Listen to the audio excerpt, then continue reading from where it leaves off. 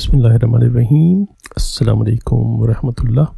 We are discussing gallbladder imaging. Our main topics are cholelithiasis and cholecystitis. Imaging modalities for gallbladder diseases number one, X ray, number two, ultrasonography, number three, CT scan, number four, MRI, and number five, isotope scan, that is, HIDA scan. Differential diagnosis of cholelithiasis and cholecystitis includes appendicitis, perforated peptic ulcer, acute pancreatitis, acute pyelonephritis, myocardial infarction, right lower lobe pneumonia.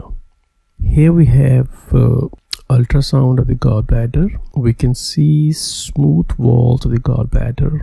In this black area or anechoic area represents fluid that is bile in it.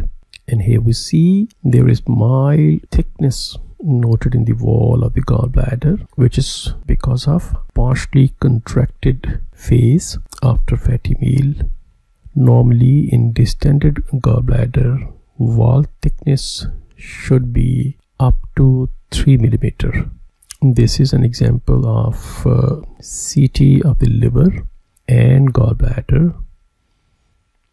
We can see smooth walled gallbladder and this low density area represents bile in it and here we see this is part of the right lobe of the liver, inferior vena cava, left renal vein, aorta, superior mesenteric vein, and artery.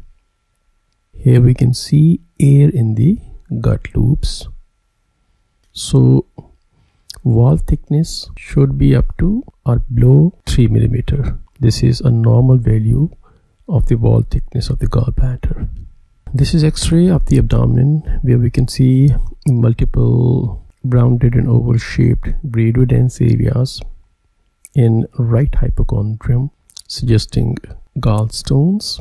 And uh, problem in the x-ray is that we are unable to comment on status of the wall of the gallbladder.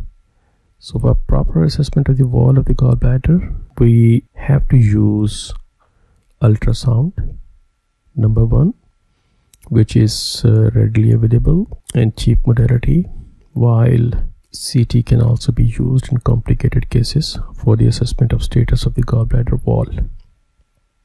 But on X-ray we can only see radiodense calculi in the gallbladder while gallbladder wall cannot be assessed with the help of X-ray.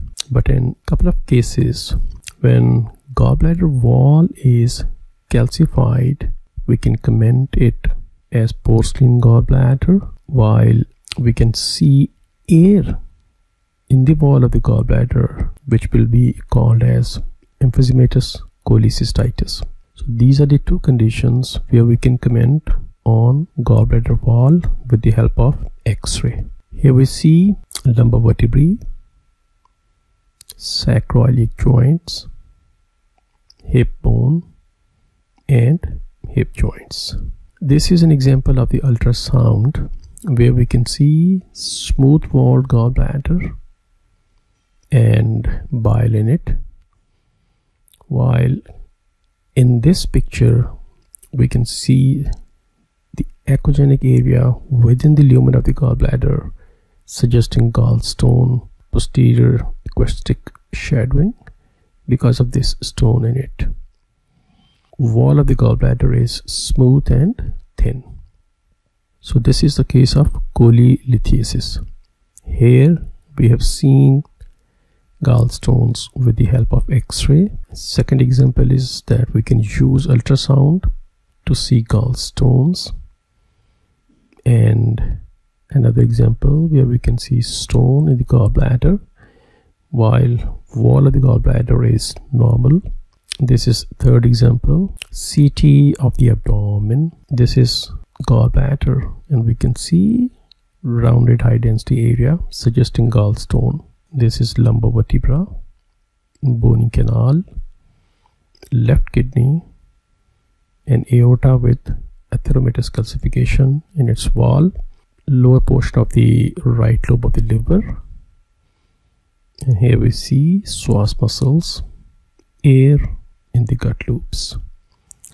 So third example is we can see or assess gallstones with the help of CT scan. And this is fourth modality that is MRI. Here we can see this is gallbladder. Bile appears bright or gives hyper intense signals on T2 weighted axial image while stone in it presents hypo intense or low signal intensity area within the lumen of the gallbladder. Upper pole of the right kidney and this is left kidney aorta IVC part of the pancreas and this is liver. So we have seen cholelithiasis with the help of x-ray of the abdomen ultrasound of the abdomen CT of the abdomen and MRI so we have used multiple modalities and our routine modality is x-ray and ultrasound. Ultrasound is best modality. We can see gallstone and we can also assess wall thickness and pericholecystic spaces along with remaining sounding abdominal viscera so whenever we are looking for gallstones initially we can use x-ray and we can take the help of ultrasound CT can be used in complicated cases while there is uh, usually no need to use MRI just for the assessment of gallstones because it is a costly modality and is not available everywhere.